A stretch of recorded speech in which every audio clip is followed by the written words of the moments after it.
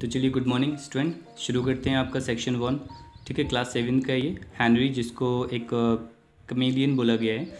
ठीक है, आप लोग जानते हैं, एक गिरगिट होती है, गिरगिट जो रंग बदलती रहती है. ठीक है तो ये जो लिखा हुआ है रस्किन बॉन्ड ने, और रस्किन बॉन्ड को मॉडर्न वर्ल्ड का वर्ल्ड्स वर्ड कहा जाता है. ठीक है, इन्होंने एक सिंपल बहुत ही डिलाइटफुल स्टाइल में इसको लिखा हुआ है, और इसको देखते एक अम्यूजिंग स्टोरी है, बहुत ही रोचक स्टोरी है, एक अनयूजल पेट के बारे में. ठीक है, यानी कि जिसको हम लोग बोल रहे हैं आ कमेलियन चलो, ये स्टोरी है हैनरी की और जो हमारा पेट है जिसको बोलते हैं chameleon chameleons are in a class by them self and are no ordinary reptiles ये नहीं कि ये इनके अलग अलग जातियाँ होती हैं, जैसे कमेलियंस चिपकली एक लिजार्ड भी होती है कमेलियंस भी होती है, एक ड्रैगन एक ड्रैगन लिजार्ड होती है। इनके कई अलग अलग वो होते हैं, जिसको हम लोग कभी कभी विश खापर भी बोलते हैं, ठीक है? बहुत अलग अलग नाम होते हैं रेप्टाइल्स में आते हैं। और, ठीक है आर नो ऑर्डनरी रेप्टाइल्स और ये कोई ऑर्डनरी रेप्टाइल्स नहीं होते, ये बहुत स्ट्रॉन्ग होते हैं। They are easily distinguished from their nearest relatives ये अपने करीब ही रिलेटिव्स के लोगों से जाने जाते हैं, ठीक है, पहचाने जाते हैं। द लिजार्ड जैसे लिजार्ड्स हो गया, ठीक है, ये उन्हीं की कैटेगरी में आती है बाई सर्टेन आउटस्टैंडिंग फीचर्स क्योंकि इनमें बहुत अलग अलग फीचर्स होते हैं। Chameleon's tongue is as long as its body जो इसकी, जो कमिलियन है इसकी जो टंग होती है टंग इतनी बड़ी होती है जितनी कि इतनी इसकी पूरी बॉडी होती है, ठीक है? और इसमें एक तो ये है कि its limbs are long as cylinder and its fingers and toes resemble parrots claws इसके जो लिम्स होते हैं वो बहुत ही सिलेंडर टाइप के होते हैं और जो इसके टोज़ होते हैं वो पैरट की क्लोज की तरह होते हैं और इसका जो on its head may be any of ornaments ठीक है? इनके हेड पर शायद ही uh, शायद ही हो सकते हैं कि कुछ ऑर्नामेंट्स होते हों। हैनरी हेड अ क्रेस्ट ठीक है? क्रेस्ट यानी कि इसके हेड uh, पर एक क्रेस्ट टाइप का होता है ठीक है? जैसे हम लोग जिसको हम लोग राजा जैसे वगैरह लोग लगाते हैं एक क्रेस्ट जैसे मोर के सिर पर भी होता है क्रेस्ट उसको भी बोल क्रेस्ट बोलते हैं। तो हाँ that looked like fireman helmet वो ऐसे लगता है कोई कोई फायरमैन हेलमेट लगाए हुए हैं। Henry eyes were his most remark Henry की जो आइज़ होती हैं, ठीक है हेनरी की आइज़ कैसी होती मोस्ट रिमार्केबल फीचर्स उनकी आइज़ में अलग अलग फीचर्स होते हैं. दे वर नॉट ब्यूटीफुल भले ही वो बहुत ज़्यादा खूबसूरत ना हो but is left eyes was quite independence वो बिल्कुल इंडिपेंडेंट है अपनी राइट right आँख से. ठीक है? He could move one eye without disturbing the other और पहली आँख को बिना डिस्टर्ब किए हुए वो आ, अपनी एक आँख को मूव कर सकते हैं.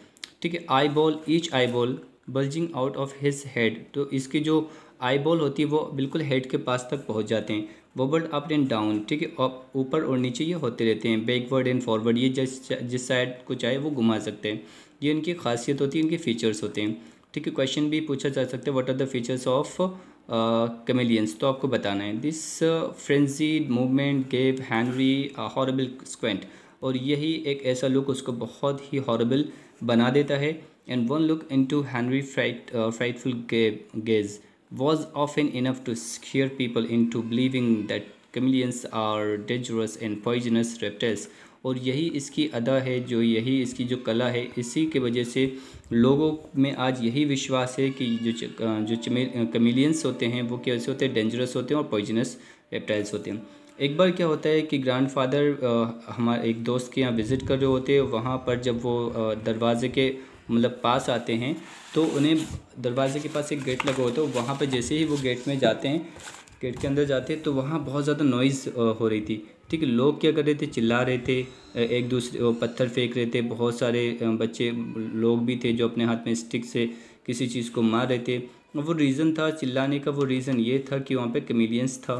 ठीक है? और वो क्या है डिस्कवर्ड कर लिया गया था इस वजह से क्योंकि वो सूरज की रोशनी में आकर अपने आप को एक किसी झाड़ियों के बीच में झाड़ियों के ऊपर बैठकर अपने आप को सेक रहा था।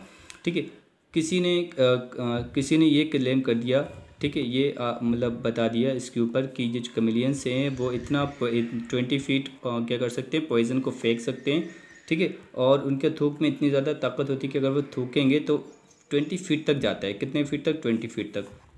और उसके बाद residents area had risen up they in arms और वहाँ के जो लोग अड़ोस पड़ोस के जो लोग होते हैं, वो खड़े हो गए अपने अपने आर्म अपने अपने हथियार लेके। कुछ किसी ने लकड़ी ले ली हो किसी ने कुछ ले लिया होगा।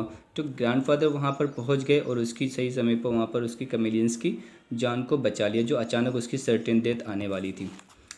और उसके बाद वो उस लिटिल रेप्टाइल्स को अपने घर ले के आ गए। वो जो कमेलियंस था, वो हैनरी नाम दे दिया गया और उसके बाद वो that was how he came to live with us और इसी वजह से वो इनके साथ रहने के लिए आया। अगर क्वेश्चन आ जाए तो how did chameleon come to live with us तो क्वेश्चन यही होगा आपको। पीछे से आपको बताना पड़ेगा कि भाई ऐसा हुआ था कि वो जो हमारे ग्रैंड फादर थे, ठीक है?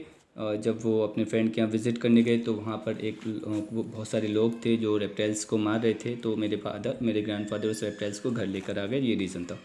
कमेलियंस जो होते हैं sorry when I first visited Henry he would treat me with great question जब uh, ये इसने विज़िट uh, किया हैनरी यानी कि कमेलियंस को तो वो एकदम ख़तरा सा साबित हुआ उनके लिए sitting perfectly still on a perch with is back to me और वो पीठ पीछे पीठ किए हुए मेरी मेरी साइड को बैठा हुआ है. The eye near to me would around like the beam of a search light until it had me well in focus और वो, वो उसकी आँखें मुझे इस तरीके से देख रही थी जैसे कि कोई सर्च लाइट नहीं होती वो हमें फिक्स कर ले अपने आँखों में। तो जो जो कमेलियंस से कमेलियंस जो इस जो इसको लिख रहे हैं राइटर को राइटर इसको लिख रहे हैं इस चैप्टर को तो उसको अपनी आँखों में बिल्कुल फोकस करना चाह रही थी।